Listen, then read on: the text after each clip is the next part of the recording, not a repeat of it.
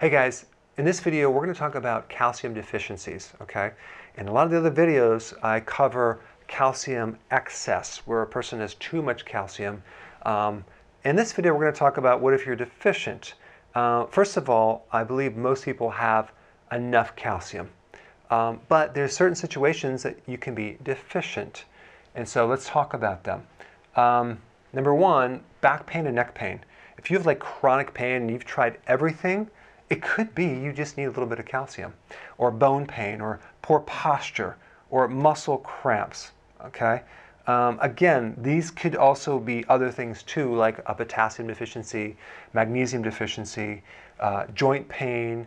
Um, so all of these could be a calcium deficiency.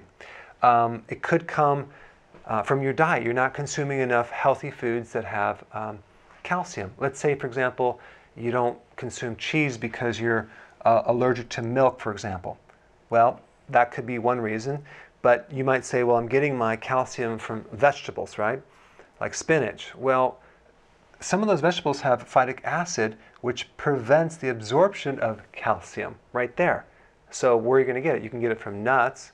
And then on the other hand, you can have a problem with the parathyroid, where it's hypoparathyroidism, which could also create a calcium deficiency as well. That's a little bit rare, but that could happen. Um, it could be that your medications are depleting your calcium as well. It could be you're consuming too much sugar, which depletes calcium. That's another reason. Or you're drinking too much coffee because caffeine depletes calcium. Um, or your stomach, it doesn't have enough acid to absorb the calcium mineral. So there's a lot of reasons why you can be deficient in calcium. But if you have some of the symptoms, you might want to try calcium orotate. Uh, make sure you also take it with magnesium because you don't ever want to take just calcium by itself. Um, so calcium and magnesium work together, but calcium orotate is a really good um, source of calcium because the orotate helps the calcium penetrate deep into the cells. All right? Thanks for watching. So if you don't have this book, you might want to check it out. It's entitled It's Not Lose Weight to Get Healthy, It's Get Healthy to Lose the Weight healthy ketosis, and intermittent fasting. Check it out. I put a link down below.